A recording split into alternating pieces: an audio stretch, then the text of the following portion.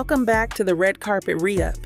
We're back with an update, diving into the recent melee that went down at an after party involving none other than Travis Scott, Tyga, and a few other notable names.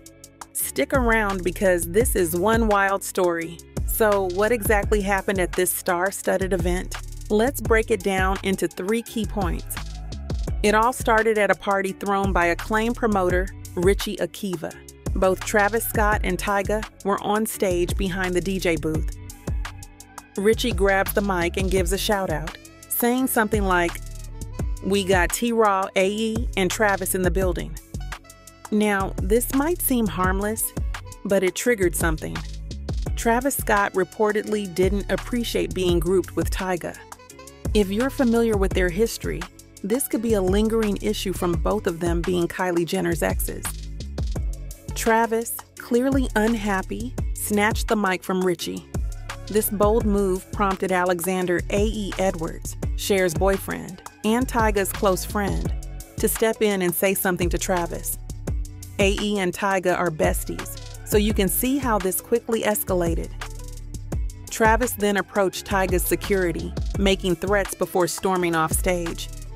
Moments later, he returned with 808 Mafia, producer Southside, and things took a violent turn. Southside and AE began to clash, starting with some pushing and shoving. It quickly escalated when AE landed several uppercuts on Southside. Travis tried to intervene, pulling AE off, but ended up nearly falling off the stage himself. Chaos ensued as AE and Travis started tussling.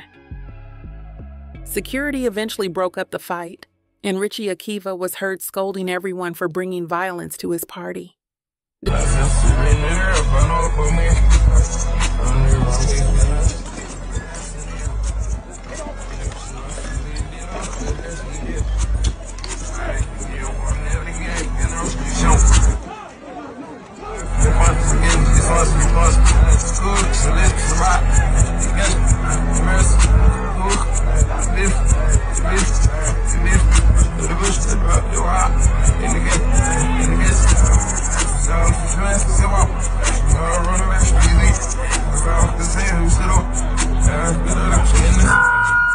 Stop, stop, stop, stop, stop.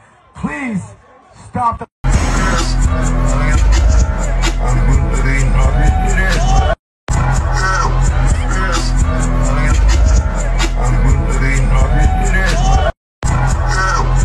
Despite the drama, no one was seriously hurt, and Tyga, AE, and their crew stayed until early morning like nothing happened. Once the news broke on social media, the story quickly morphed into various versions, with some claiming Travis beat up Tyga. However, as we've seen, the real story is a bit more complex. And there you have it a wild night at Cannes that left quite an impression. What do you think about the whole situation?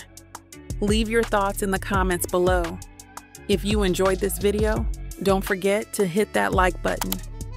Subscribe to our channel and ring the bell for more updates on your favorite celebs and the hottest events. Thanks for watching, and we'll see you next time.